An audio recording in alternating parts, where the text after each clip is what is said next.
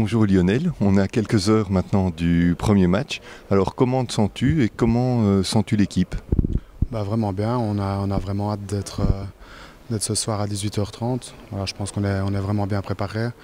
On est tous prêts, voilà, on a vraiment envie que, que ce, ce, tournoi commence enfin.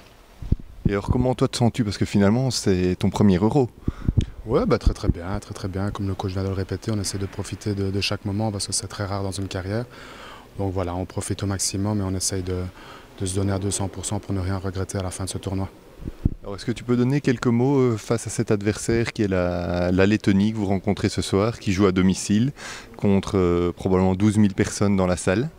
Oui, tout à fait. On sait que ça va, que ça va être très dur ce soir. Voilà, tout le monde sera contre nous euh, dans la salle. Maintenant, voilà, on connaît, on connaît les qualités et les faiblesses de, de cette équipe lettonne. Euh, on sait que ce serait de, de, de très bons shotters. Euh, voilà, il va falloir contrôler le, rame offensive et je pense qu'avec la même intensité défensive qu'on a eu pendant nos, nos matchs de préparation, on a peut-être moins de créer quelque chose ce soir. Merci.